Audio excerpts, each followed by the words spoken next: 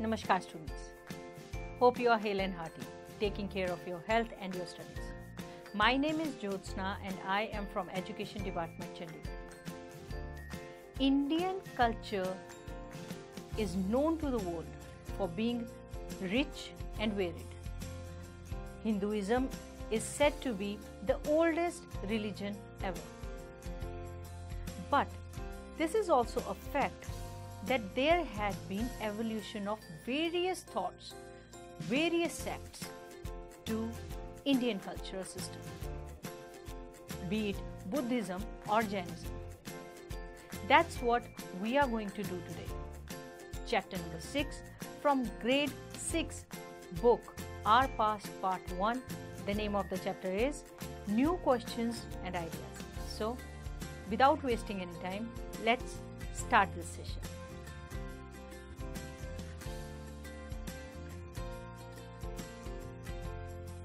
From chapter 5, you know that some kings in Mahajanpad were growing more powerful. New cities were developing and life was changing in the villages. Some thinkers were trying to understand these changes in society. They also wanted to try and find out for true meaning of life.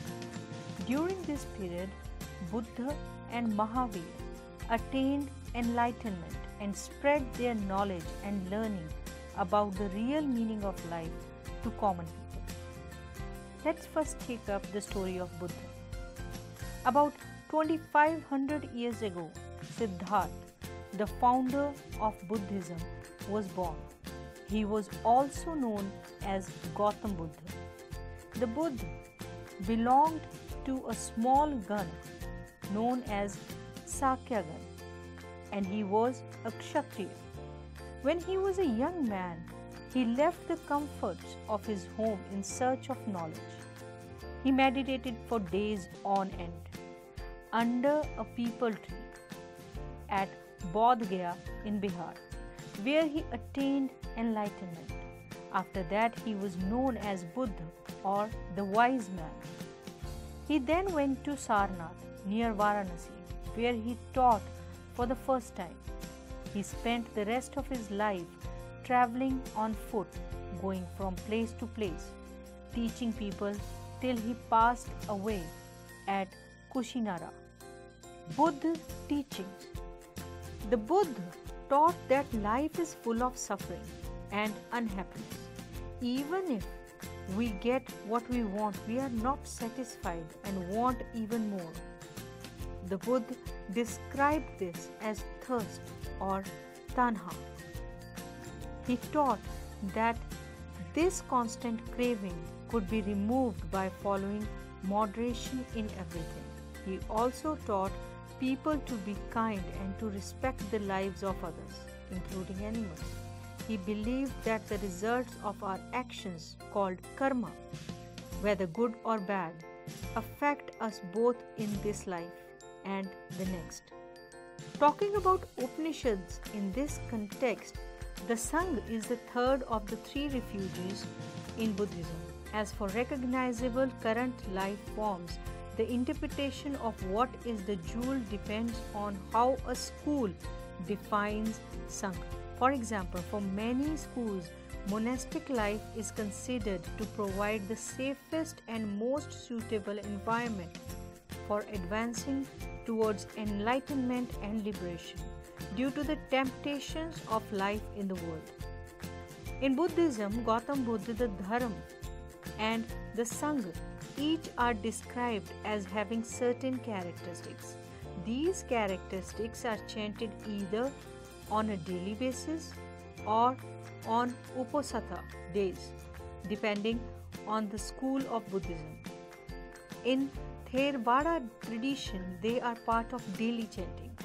The Sangha, the Sangha of the Blessed One's disciple, Sevakas, is practicing the good way, practicing the upright way, practicing the knowledgeable or logical way, practicing the proper way. That is the four pairs of persons, the eight types of individuals. This Sangha of the Blessed One's disciple is worthy of gifts, worthy of hospitality, worthy of offerings, worthy of Upanishads mean approaching and sitting near. The texts contained in Upanishads were the conversations between teachers and students. Most Upanishadic thinkers were men, especially Brahmins and Rajas. There is a mention of women thinkers such as Gargi, who was famous for her learning and participated in debates held in royal courts. Many of the ideas of Upanishads were later developed by the famous thinker Shankaracharya. Jainism The last and 24th Tirthankara of Jainas was Vardhaman Mahavira. He was a Kshatriya prince. A group of that was part of the Vajji Sangha. At the age of 30, he left home and went to live in a forest. For 12 years, he led a hard and lonely life, at the end of which he attained enlightenment. He taught a simple doctrine men and women who wished to know the truth must leave their homes. They must follow very strictly the rules of ahimsa, which means not hurting or killing living beings. Followers of Mahavir, who were known as Jainas, had to lead very simple lives. They had to be absolutely honest and were specially asked not to steal. Also, they had to observe celibacy, and men had to give up everything, including their clothes. It was very difficult for most men and women to follow these strict rules. Jainism was supported mainly by traders. The teachings of Mahavir and his followers were transmitted orally for several centuries. Now let's talk about the Sangha. Sangha was an association of those people who left their homes. The rules made by the Buddhist Sangha were written down in a book called the Vinaya Pitaka. Men and women who joined the Sangha led simple lives. They meditated for most of the time and went to cities and villages to beg for food during fixed hours. That is why they were known as bhikkhus, the Prakrit word for renouncer or a beggar. Those who joined the Sangha included Brahmins, Kshatriya, merchants, laborers, barbers, courtesans, and slaves. The Sangha is the third of the three refuges in Buddhism. Common overall school is that the Arya Sangha is the foremost form of the third jewel. As for cognizable current life forms, the interpretation of what is the jewel depends on how a school defines it. So let's take up the monasteries now. A monastery is a building or complex of buildings comprising the domestic quarters and workplaces of monastics, monks, or nuns, whether living in communities or alone as hermits. A monastery generally includes a place reserved for prayer, which may be chapel, church, or temple, and may also serve as an oratory, or in the case of communities, anything from a single building housing only one senior and two or three junior monks or nuns to vast complexes and estates housing tens or hundreds. Buddhism and Jainism are two ancient Indian religions that developed in Magadh, Bihar, and continue to thrive in modern age. The comparative study of Mahavir and Gautam Buddha are generally accepted as contemporaries. Jainism and Buddhism share many features, terminology, and ethical principles, but emphasize them differently. Both are Sramana ascetic traditions that believe it is possible to attain liberation from cycle of rebirth and death samsar through spiritual and ethical disciplines. They differ in some core doctrines such as those on asceticism middle way versus anekantavada and self versus no self. Both jains and buddhist monks went from place to place throughout the year teaching people. The only time they stayed in one place was during the rainy season when it was very difficult to travel. Then their supporters built temporary shelters for them in gardens, or they lived in natural caves in hilly areas. The permanent shelters which monasteries were built were known as vihar. The earliest vihars were made of wood and then of brick. Some were even in caves, especially in Western India. So let's have a comparison chart of Buddhism and Jainism. Starting with the practices, Buddhism believed in meditation, the Eightfold Path, right view, right aspiration, right speech, right action, right livelihood, right effort, right mindfulness, and right concentration. On the other hand, Jainism believed in five vows of truth non violence, non stealing, non attachment, control over desires and senses, greater emphasis on non violence and truth. Also, follow three jewels of right perception, right knowledge, and right conduct. Place of origin For Buddhism, it was Indian subcontinent, for Jainism, it was India. Belief of God The idea of an omniscient, omnipotent, omnipresent creator is rejected by Buddhists. The Buddha himself refuted the theistic argument that the universe was created by a self conscious personal God. Jainis also does not believe in a creator called God. Use of statues and pictures common. Statues are used as meditation object and revered as they reflect the qualities of Buddha. This is a common thing between Buddhism and Jainism. What was their view on life after death? Rebirth is one of the central belief of Buddhism. We are in an endless cycle of birth, death, and rebirth, which can only be broken by attaining nirvana. Attaining nirvana is the only way to escape suffering permanently. On the other hand, Jainis believe that until liberation is achieved, circle of rebirth and death continue due to karma via incarnation in any life form on earth as also heavenly and hellish life forms. The founder was Gautam Buddha, the prince Siddharth. For Jainis, it was Rishabh Dev, first Tirthankar in this era, further revived by Vardhaman. Mahavir, 24th and final Tirthankar of this era. Clergy Talking about clergy, Buddhists believe that the Buddhist Sangha composed of bhikkhus and bhikkhunis. The Sangha is supported by lay Buddhists. Jainis, on the other hand, had monks and nuns, somehow the similar pattern of Buddhist. Literal meaning Buddhist are those who follow the teachings of Buddha. Jainis, on the other hand, to become a jina, liberated soul, by following the teachings of 24 Tirthankars. Human nature. For Buddhists, ignorance as all sentient beings.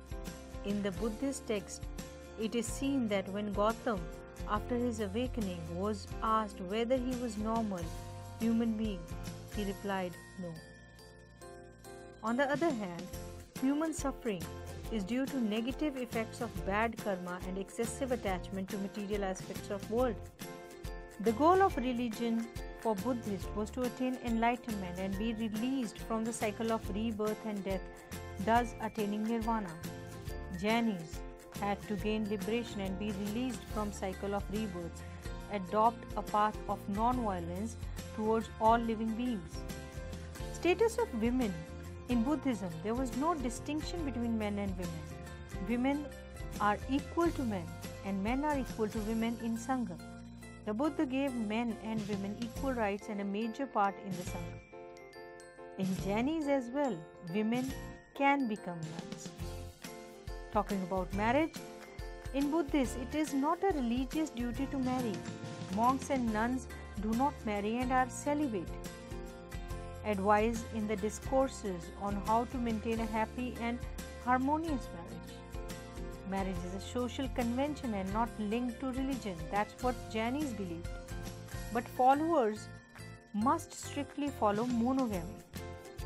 Monks, though, have renounced material world, hence strictly follow celibacy, somewhat similar like Buddhist.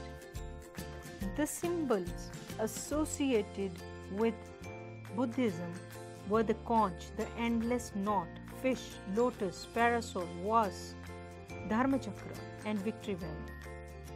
With the Jainis, it was swastika, which is used long before it became as a symbol for anti-Semitism. Buddhist and their compatibility with the science. Aside from the concept of karma and rebirth, Buddhist is said to be compatible with many scientific findings. Most Buddhist practices are also labeled as cognitive science. Jainism, on the other side, the teachings of Buddha come from Mahavira, therefore, they are similar. Let's try to analyze what we have learned today. On your screens, you can find a question or a statement followed by it are four options. You have to pick the correct option. So let's get going. So, my first question is Buddhism was found by Mahavira, Zoroaster, Ramakrishna Paramhansa, or none of these? Correct answer is none of these. Actually, Buddhism was found by Gautam Buddha. Moving on, Jainism was founded by Mahavir, Buddha, Zoroaster, or Tao. It is option A, Mahavir. Very good. The Vinayak Pitaka is a sacred text of the Buddhist, the Jainas, the Hindus, or the Sikhs? The correct answer is the Vinayak Pitaka is a sacred text of the Buddhist. Very good. Buddha used dash to communicate with people. Prakrit, Sanskrit, Urdu or Hindi. Correct option is Prakrit. The universal soul has been referred to as Atman, Brahman, Karma, or Tanha. It is option B, Brahman. A woman Upanishadic thinker was Jabali, Satyakam Jabala, Urmila, or Gargi. Yes, a woman Upanishadic thinker was Gargi. So let's fill the blanks which are there on your screens. The Buddha belonged to a small gun called Sakya. The Buddha got enlightened at Bodh Gaya. The Buddha used the word tanha for desire of worldly things. Satyakam Jabala was the son of a slave woman called Jabali. The Prakrit spoken in Magadh was known as Magadhi. Jainism was initially supported by only the traders. The teaching of Mahavira were written down for the first time about 10 years ago in 1500. Last question. The earliest viharas were made of wood and of brick. As Indians, we are always proud of the diversity we belong to and the unity we keep. I hope today's session brought you a lot more closer to the rich and varied heritage of our country. We'll be back with many more videos. Till then, stay safe, stay healthy, and keep studying. Namaskar.